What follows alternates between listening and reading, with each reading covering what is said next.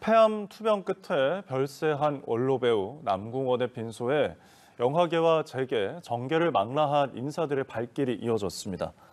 서울 아산병원 장례식장에 마련된 고인의 빈소에는 어제 오전부터 신영균을 비롯해 최불암, 임하룡 등 동료 배우들이 조문했습니다. 고인의 아들인 홍정욱 전 국회의원과 정계에서 친분을 쌓은 정몽준 아산재단 이사장, 김부겸 전 국무총리 등도 다녀갔습니다.